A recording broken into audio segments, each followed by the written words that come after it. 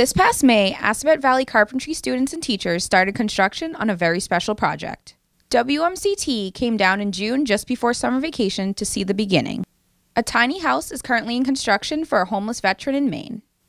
The project was initially funded by the CF Adams Foundation, but many others have donated to this cause since.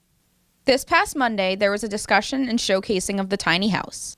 The vet this home is being built for, Ryan, was also in attendance through video chat. The, the homeowner is getting uh, a property um, owner finance through Down East Community Partners, and we just closed on that property last Thursday.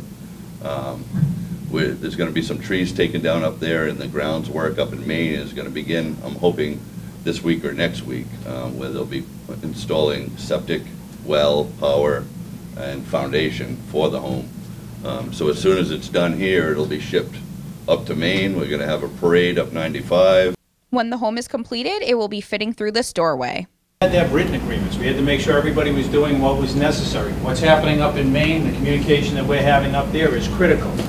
If Mr. Shaw's not doing what he needs to do up there so that they're ready to go when we're done building the house, we've got some challenges. We need to put it someplace when it's done. So everything that's happening here, happening there, what the responsibilities are, those are all the agreements that have to be in place, part of the construction project. Lead carpentry teacher Bill Italiano is hoping this project will lead to more projects like this. you know, for, for Ryan who's getting a house, you know, it's, it's, it's a great thing, but it's, I couldn't ask for a better classroom. We have an outside program where uh, our juniors and seniors go off campus. They'll do a lot of community service work out there. And this, I think, gears them up for that. And, you know, I think it's, we have a house building program that I'm hoping more people may hear about that and, and lead us down that road too. The target delivery date is Veterans Day. Reporting in Marlboro, I'm Jasmine Mulu, WMCT News.